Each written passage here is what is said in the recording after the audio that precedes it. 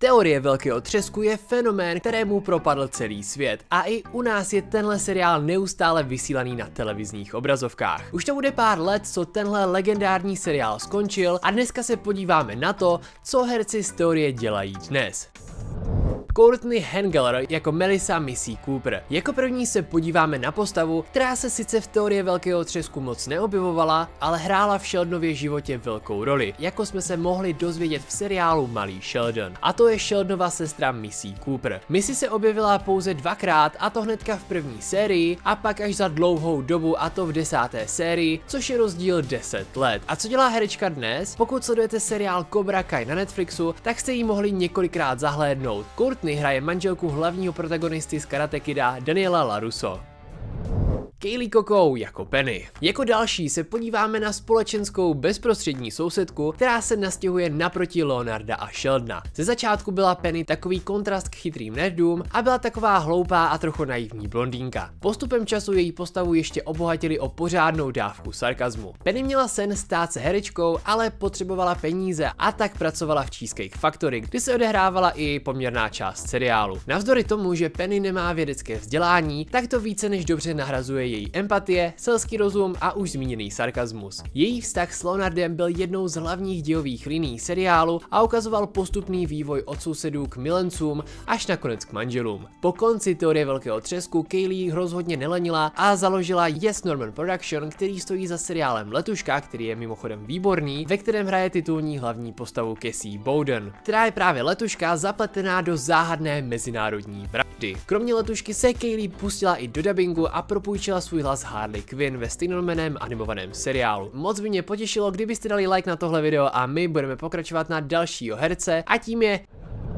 Jerry O'Connell jako George Cooper Jr. Jako další tady máme Sheldonova staršího bratra George Coopera. I když se objevil až skoro ke konci seriálu, a to v 11. sérii, podobně důležitá postava jako jeho sestra. V teorii Velkého třesku jsme se dozvěděli, že Georgie nebyl úplně akademicky nadaný, ale byl manuálně zručný a stal se z něj podnikatel s firmou Dr. Tire. I když jeho biznis je úspěšný, tak rozhodně nepovažuje svého bratra za svatého a během jejich prvního rozhovoru na obrazovce řekne všechny všechny křivdy, které se mu během jeho života kvůli Sheldonovi staly. Jerry O'Connell začal svou kariéru už v mládí, kde se v roce 1986 objevil v adaptaci románu Stephena Kinga Stůj při mě. Dál se objevil ve filmu Jerry Maguire a stvárnil Stephena Birče v seriálu Miliardy. Po konci seriálu Teorie velkého třesku se Jerry objevil v řadě dalších televizních rolí a věnuje se také dubbingu. Můžete ho také znát jako hlas komandéra Jacka Ransoma z animovaného seriálu Star Trek Lower Decks. Také se pravidelně od roku 2021 objevil objevuje jako spolumoderátor na CBS Daytime, kde nahradil Sharon Osbourne.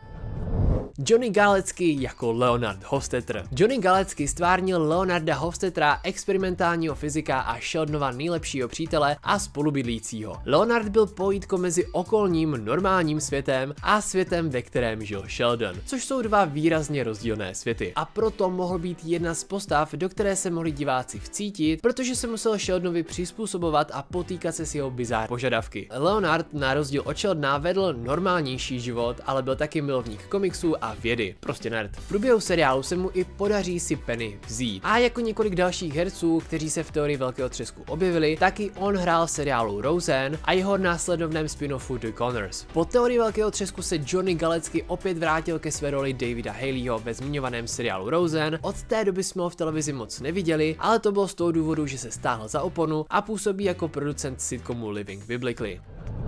Sarah Gilbert jako Leslie Winkle. Jako další tady máme sarkastickou nezávislou ženu, která se taky věnuje experimentální fyzice a taky je příležitostnou milenkou Leonarda a nějakou chvíli i Howarda. Leslie byla zajímavou postavou, protože obrátila role naopak a najednou jsme měli dominantní ženu, které se muži podvolili. Taky to byla jedna z mála postav, která Sheldonovi hrála na nervy a nebala se ho zesměšňovat a spochybňovat jeho nápady. Taky v jedné scéně, kdy Leslie přespí v bytě Sheldona, tak mu opraví jeho rovnici, což Sheldona hrozně vykolejí, protože mu někdo sáhl na jeho tabuli a pak následuje rozhovor o tom, že Sheldon přece taky Leslie nechodí podobně a nesáhají na tabule. Leslie mu na to s klidným hlasem odpoví, že na tabulích, co má doma ona, nemá žádné špatné rovnice. Přátelsky poplácá Leonarda, poděkuje za pěknou noc a odejde. Její postava se pravidelně objevuje i v druhé a třetí sérii, ale pak se najednou vypaří a znovu ji můžeme vidět až v jedné epizodě ke konci seriálu, ale vůbec nevíme, co se s postavou stalo. Sara pokračovala v práci jako producentka a spolumoderátorka v denní talk show The Talk. Sara taky hrála v seriálu Rosen, který se začal natáčet v roce 1988, takže jste si ji spíš mohli všimnout až ve spin-offu tohoto seriálu The Connors. Její stvárnění Darlene bylo přijato dobře a byla několikrát nominovaná na Primetime Emmy ocenění. A budu moc rád, když mě podpoříte odběrem.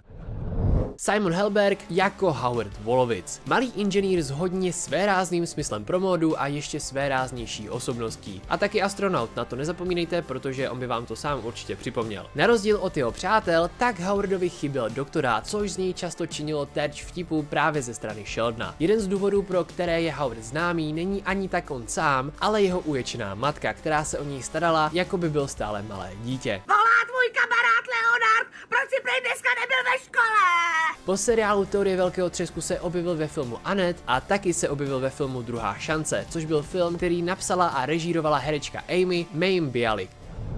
Laurie Metcalf jako Mary Cooper. Jako další tady máme Sheldonovu mámu Mary Cooper, kterou stvárnila Laurie Metcalf. V seriálu stvárnila nábožensky založenou a dobrosrdečnou matku, se kterou Sheldon občas bojuje, protože se tady střetávají dva protiklady. A to křesťanská víra a racionální exaktní věda, kterou zastává Sheldon a navíc jsou oba dva fanatici, takže nikdo nechce dělat ústupky. Ale navzdory jejich ideologickým rozdílům má na Sheldona pozitivní vliv a snažila se ho držet při zemi a chránit to před okolním světem, protože hyperintelektuální člověk s nedostatkem empatie a fixací na určité zvyky to ve světě rozhodně nebude mít jednoduché. Seriálu se objeví ze všech členů rodiny nejvíckrát a to rovnou ve 14 epizodách. Podobně jako řada ostatních herců se objevila v seriálu Rosen a po konci teorie velkého třesku se vrátila do své ikonické role Jackie Harrisové seriálu The Connors. Za její výkon ve filmu Lady Bird, kde stvárnila přísnou ale milující matku, byla nominována i na Oscara a potvrdila tak svou všestranost a to, že dokáže hrát komedii i drama. A ve světě animovaných filmů propůjčila svůj hlas Andyho mámě v příběhu hraček.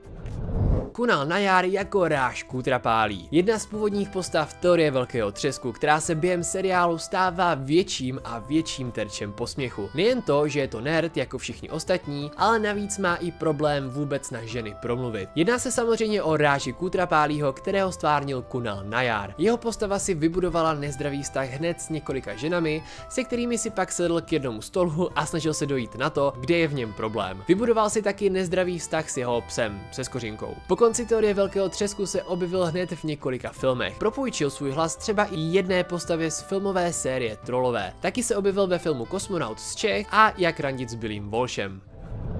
Laura Spencer jako Emily Sweeney. Teďka se podíváme na jednu z rážových přítelkyň. Emily, kterou hraje herečka Laura Spencer, se v seriálu objeví poprvé, když Ráž hledá přítelkyni a ona ho přes seznamku kontaktuje. Emily hraje dermatoložku s netypickým temným smyslem pro humor a je milovník hororových filmů. Je taky fanoušek originálních drsných příběhů od bratří Grimmu, které preferuje před Disney adaptacemi. V seriálu se objevila celkem v 17 epizodách. Chodila jak s Rážem, tak i následně s Gerim. Laura poprvé získala pozornost, když se objevila v internetové sérii The Lizzie Bennett Diaries a také se objevila v seriálu Sběratelé kostí, kde stvárnila internistku Jessica Warren. Po odchodu z teorie velkého třesku je jí vidět jen zřídka. Objevila se ve filmu 13 minut a v roce 2024 v jedné epizodě v seriálu Chirurgové.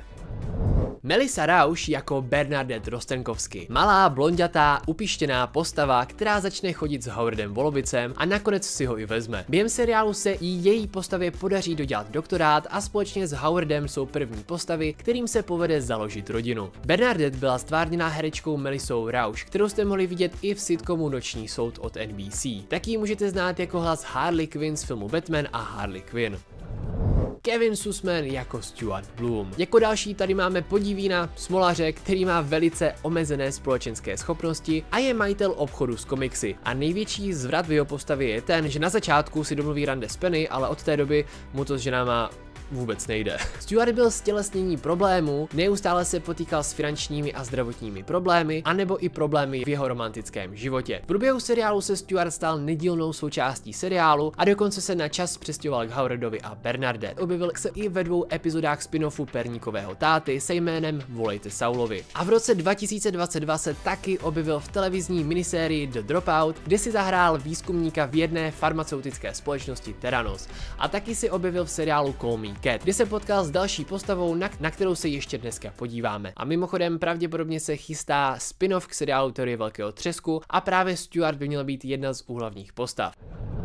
Mayim Bialik jako Amy Farah Follerová. Mayim Bialik se připojila k obsazení teorie velkého třesku jako Amy Farah Follerová, neurobioložka a nakonec i láska Sheldona Coopera. Postava Amy obrátila Sheldonův život z hůru nohama a během série se snažila Sheldona změnit k lepšímu, aby byl snesitelný i pro ostatní lidi kolem něj. Její stvárnění Amy našlo pozitivní odezvu u fanoušků, kteří ocenili kombinaci její inteligence, zranitelnosti a humoru. Bialik má i ve skutečném světě doktorát z neurovědy. Po skončení teorie velkého třesku se Bialik věnovala herectví i produkci. Hraje v komedii Call Me Cat a kvůli zesnutí Alexe Trebeka se stala moderátorkou populární herní show Jeopardy a dělá si svůj vlastní podcast Mayim Bialik's Breakdown. Zajímavostí je, že její prarodiče pocházeli z Československa, odkud emigrovali do USA. Mayim napsala knížku, která u nás vyšla pod názvem Teorie ženského třesku a fotku s českým vydáním můžete najít i u ní na Instagramu, kde do popisku napsala tohle je pro tebe babičko. Takže i v teorii máme českou českou stopu.